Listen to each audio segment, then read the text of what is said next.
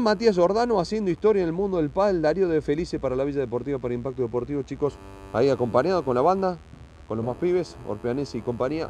¿Cómo andan? Felicitaciones por el título, Matías Jordano. De grande te fuiste, pero bueno, está hermoso, muy contento, muy contento de poder tener la posibilidad de jugar este torneo con Darío y que se han dado los resultados y pudimos ganar un campeonato que hace muchos años que tenía ganas de ganarlo y que hacía mucho que no ganábamos y bueno, gracias a Dios pudimos lograrlo y y vamos a seguir divirtiéndonos y pasándola lindo. Bien. Darío, ¿esta pareja va a dar que hablar a futuro en el mundo del pádel de Carlos Paz?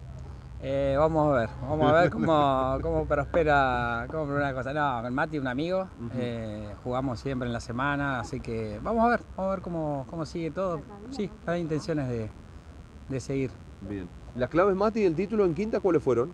No, la paciencia, apostar mucho al juego que Darío, que tiene un juego más agresivo que el mío, y bueno, uno de tratar de no errar, meter y complicar un poco a los rivales para que él tenga la posibilidad de llegar cómodo y tratar de definir, y bueno, si había que tirar globo, tirábamos globo hasta que él se quede cómodo, y bueno, y gracias a Dios se sintió cómodo bastantes veces y le fue muy bien, gracias. Darío, ¿fue un campeonato duro o se fue paso a paso, fue bien, fue tomando eh, mucha juventud y mucha experiencia este, esta pareja? Eh, empezamos flojito, pero, pero pudimos ir levantando de a poquito. Eh, la verdad que sí, nos empezamos a sentir más cómodos y sí, duro, largo, muchas parejas. Eh, pero bueno, terminamos muy bien la final, así que contentos.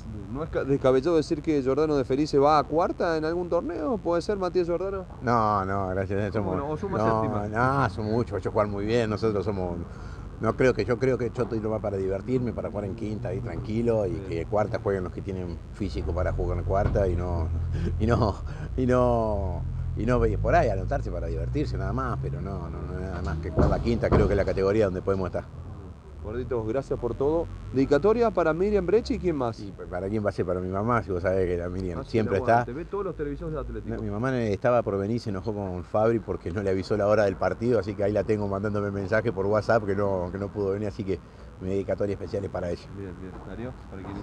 No, para nadie, para la gente que, con la que jugamos toda la semana, que, que nos divertimos principalmente. Es un deporte para mí de, muy divertido, nos entretiene, nos mantiene activos aún con los años.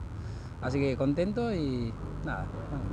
Déjame no, también. No, con ganas de hablar. no, no, le quiero dedicar también porque mi hija se va a poner muy contenta para Juanita, que cuando ahora le manda el mensajito con la foto se pone muy contenta y bueno, para ella sobre todo, que es lo que impulsa para seguir divirtiéndonos. Bien. Chicos, felicitaciones por el título, muchas gracias. ¿eh? No, gracias, gracias a vos, Gracias. gracias.